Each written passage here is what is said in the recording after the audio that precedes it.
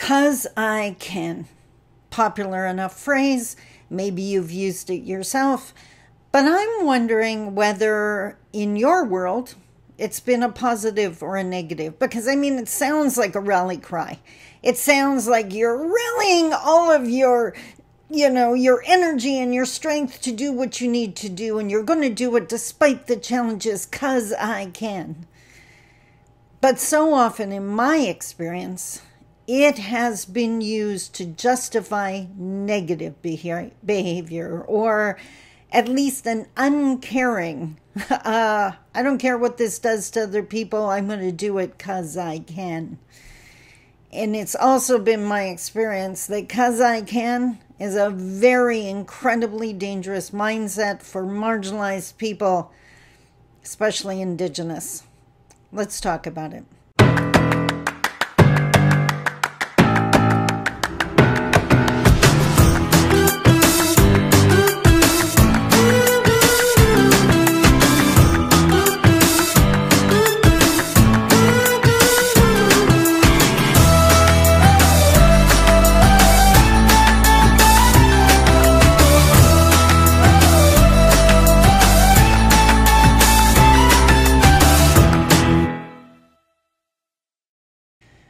Bonjour, Mishko Paganan, Quain Adishnakas Mangdodam. Hi, everybody. My name is Sandi Boucher. I'm Red Thunderbolt Woman of the Loon Clan, a proud member of Seine River First Nation in Treaty 3 territory in Northern Ontario. And we're going to talk about Can. But before I do that, just a little reminder, a little refresher here. There are three natural human reactions to either long term oppression or internalized oppression. And in Canada, I don't know if there I, there isn't any other group that has been oppressed for as long as Indigenous peoples because yes, the oppression continues. And if you're a member of an oppressed group, a group that's been oppressed for a long period of time, you internalize that oppression. Yes, start to believe the stereotypes about yourself and the people in your group. You start thinking, I can't do that because we don't do that. It gets really dangerous. So, just a refresher the three natural human reactions the first one is violence if it feels like the entire world is telling you you're less than, at some point you may lash out. The problem, it's really hard to pop the oppressor in the nose if the oppressor is the federal government. So people lash out against the people closest to them, their partners, their children, their community members, or the members of the municipality nearby. It's not desirable, but it's definitely understandable when you realize it's a reaction to the environment. You have heard me say it a hundred times. Indigenous in Canada are flowers trying to grow in soil doused in gasoline. Violence is a natural reaction. Even scarier, from my opinion, is acquiescence, the complete and total giving up. And you recognize this in people because they start saying things like, why bother? Why bother going to school? It's never going to change anything. Why bother trying to get a career or become educated? They're never going to hire us. Why bother sending my kids to school? It didn't change anything for me. People are judged for a reaction to the environment. You don't blame the flower, you fix the environment, as my favorite quote says. But the third reaction is what I push people to every single day. It's nonviolent resistance, which in layman's terms is deciding not to be the stereotype. So I wrote down um, some examples here. I didn't have my uh, index cards with me. I actually had a little notebook with me. So for Indigenous, it's choosing you know, maybe I know so many Indigenous elders or older adults, well, I guess my age now, who are incredibly hardworking. And as a youth choosing to mimic that and have that amazingly strong work ethic, that's nonviolent resistance because the stereotype says we're lazy, we're a drain on the public coffers, we're quote unquote welfare bums. So choosing that work ethic is nonviolent resistance. Another one is financial stability. You've heard me say it before. Poverty is not our culture. It is simply the environment we've lived in for too long. You don't stop being indigenous with a healthy bank account, and you don't have to have a healthy bank account.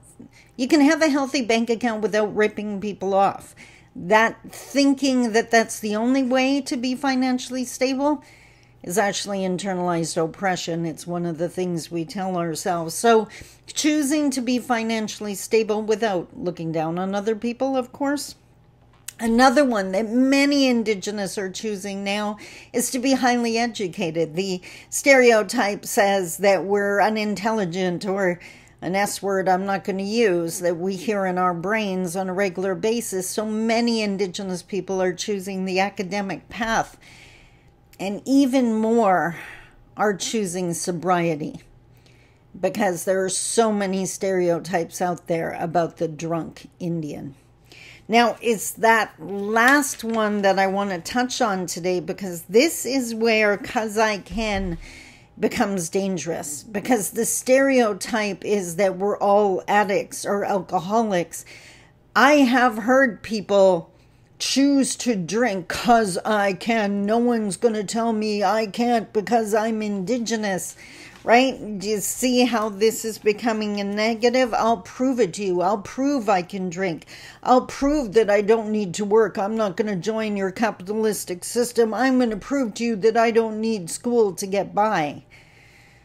These people convince themselves that that's nonviolent resistance, and it absolutely is not because you're still trying to prove something to them, which means them are still in charge. That's not empowerment, that's oppression. That's internalized oppression. So, if you want to do nonviolent resistance, if you want to overcome the barriers, by the way, what you choose to focus on is going to multiply. So if you're going to sit there and list off all of the reasons why we can't succeed, I guarantee you, you will not succeed. Focus instead on why you will. Right? Focus on being the best you possible. I don't care about the size of your bank account. Are you a kind person? Are you a compassionate person? Are you building your wisdom? Are you building your confidence? Are you learning from life? Are you grateful for the lessons that Creator sends every single day? Those that you can choose no matter where you live or who you're standing or who you're standing beside. What I wrote down this morning was Creator sent you for a reason. You are needed and you are so much more than alcohol abuse, violence, or poverty. Those are the stereotypes. And we are so much better than that. I am not saying you can't have a drink. I am not saying that you can't choose to do something because you want to, but is it because you want to? I don't believe there is one person on the planet who genuinely wants to be a horrible person because every single person I've met who has choosing that cuz I can attitude, choosing to be disrespectful and rude, is doing it because they were hurt. They are doing it in reaction, meaning whoever hurt them is still in charge. In the words of our elders, go back to who you were before the others came that beautiful child who believed in dreams, that beautiful child that was excited to find the cool rock in the front yard and the amazing flower. Discover new things, do things that make you feel proud of you. Self respect is incredibly empowering. Don't do things to escape or because I can.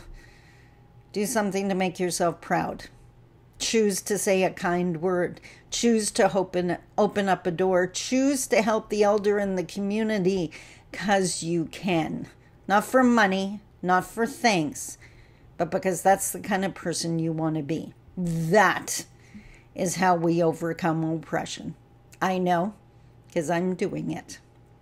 I hope that resonated. I hope that made sense. Please share this with anyone you think it could help because there's a lot of people out there trying to heal.